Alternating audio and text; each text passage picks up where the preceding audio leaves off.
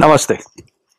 It's a Monday morning and you're about to have a lovely day ahead of you. You get out of bed in the morning, all set to go to work, and what hits you is that you have a pain in the back, a backache. What's your first reaction? Some of us may experience some irritation, some of us may get a little bit of why me, why today. Most of us would just simply reach out for some medication or some paracetamol. Is there another way of handling this? Let's look at another way. The next time you have an ache or a pain in your body, here's a suggestion. Look at it. And I mean really look at it.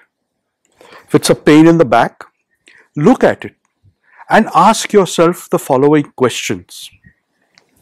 If this pain had a color, what color would it be? If this pain had a shape, what shape would it be? If this pain could hold water, how much water would it hold?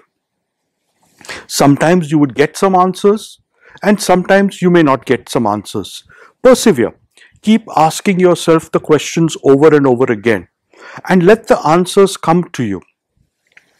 After a while, repeat the process with the questions getting shorter what color is my pain now? How much water is it holding right now? What shape is it right now? And as you continue to ask yourself these questions, you may experience the pain diminishing. Most of us respond and report that the pain goes away. So, why don't you experiment with this? Play with this. Is this another way to deal with pain without using medication? Have fun. Namaste.